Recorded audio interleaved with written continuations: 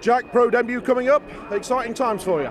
Yeah, very exciting. Um, it's been a long time coming. So I've been an amateur for quite a few years now, and uh, this is something I've always wanted to do. And uh, what a better place to do it than uh, in my hometown, at one of the biggest arenas we've got.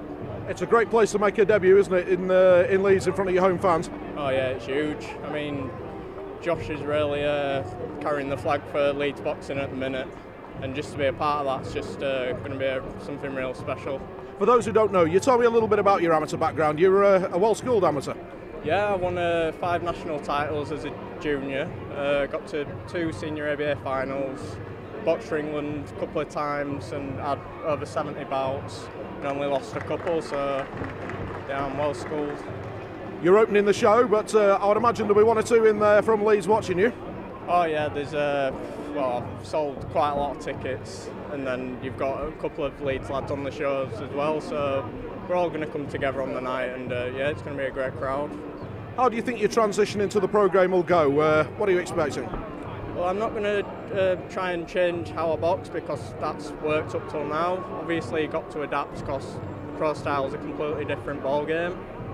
But um, yeah, I'm just going to take my time in there and see how the first few rounds go, and then yeah, just take it from there really. Your debut's against Hungarian Roland Petriks. Uh, what are you expecting? Do you know anything about him?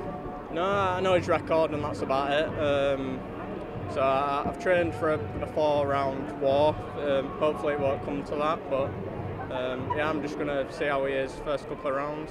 For those who uh, haven't seen you, what can uh, they expect from you?